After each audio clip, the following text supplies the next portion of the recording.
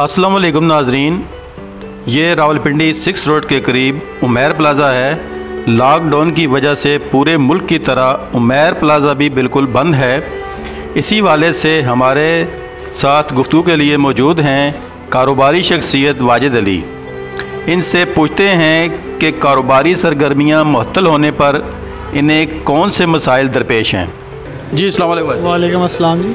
भाई साहब ये उमेर प्लाज़ा है। तो नाजरन को तरफ़ बताएँ कि उमेर प्लाज़ा की क्या पोजीशन है? उमेर प्लाज़ा की पोजीशन ये है, यहाँ पे मोबाइल फ़ोन की शॉप्स हैं और इसकी इलेक्ट्रॉनिक्स की, यानी कि लैपटॉप और कंप्यूटर शॉप्स हैं। और बिज़नेस जो है, इस वक्त कारोबार बिल्कुल भी नहीं है। लोग घरों में बैठे हुए हैं और ऑनलाइन काम कर रहे हैं। कोशिश यही है कि चलें, ऑनलाइन में कुछ ना कुछ हो जाए। लेकिन प्लाजे के हालात ही हैं कि इस वक्त बिल्कुल सन्नाटा पड़ा हुआ है। और सामान थोड़ा सा निकालना भी होता है तो पुलिस वालों की परमिशन नहीं है कि आप सामान निकाल सकते हो। तो लिहाजा ये मतलब परेशानी है। और देखें, इसमें अब ये है कि प्लाजे में कम से कम 300 शॉप्स हैं।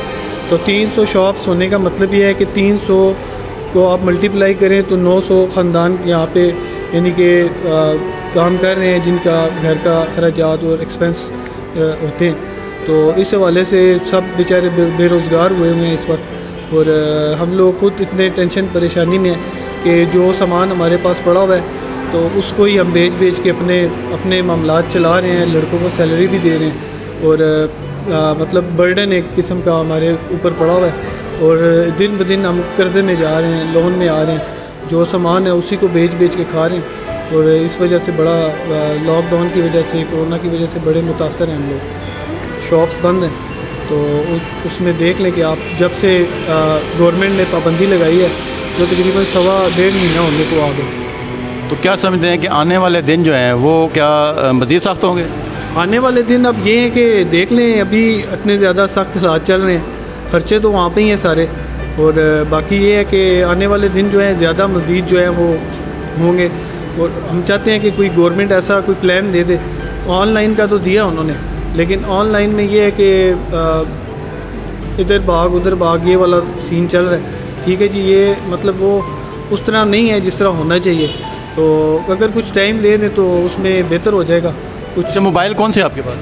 मोबाइल तो हमारे पास सारे ब्रांड्स के मिल जाते हैं। हवावे का सैमसंग का आईफोन टेक्नो का इनफिनिक्स का सैमसंग वगैरह सब इनफिनिक्स और इसके अलावा छोटे मोटे और भी ब्रांड्स हैं।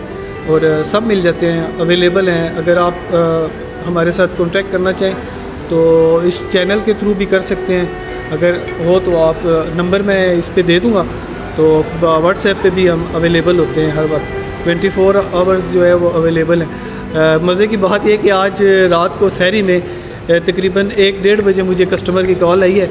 उसने कहा कि मैंने कार्ड स्वाइप करवाना है और फ़ोन मुझे चाहिए।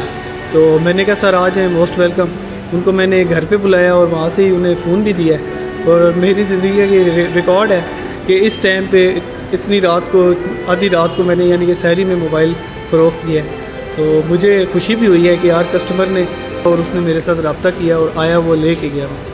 अच्छा भाई साहब मोबाइल की जो कीमतें हैं मिनिमम क्या है और मैक्सिमम क्या है? मिनिमम स्मार्टफ़ोन जो है वो तकरीबन आठ से दस हज़ार से स्टार्ट होता है। और आगे फिर आ, मतलब जो आ, चल रहा है वो बीस से पच्चीस हज़ार की रेंज ज़्यादा चलती है। वही ज़्यादा लोग परचेज़ कर रहे हैं। तो आगे फिर चालीस पचास वाले भी हैं लेकिन बीस पच्चीस की जो रेंज है ना ये ज़्यादा बिकती है। आपका कोई व्हाट्सएप नंबर जी मेरा व्हाट्सएप नंबर है zero double three two six thousand three eleven इस पर व्हाट्सएप पे आप रबता कर सकते हैं मेरे साथ। जिस टाइम कहेंगे आपको चीज़ आपके दरवाजे पे मिल जाएगी। और इसके अलावा और कोई चीज़ चाहिए हो एसेसरीज़ वगैरह में वो भी हम साथ प्रोवाइड कर सकते हैं। कीमत रिजनेबल होगी? कीमत के हिसाब से जो कंपनी रेट्स हैं, उसमें हम कस्टमर को अपनी तरफ़ से जो डिस्काउंट होता है, उसको दे देते हैं। लेकिन ये नहीं है कि बिल्कुल ही जो है वो डाउन कर लें और कीमत बहरहाल मुनासिब रिजनेबल है।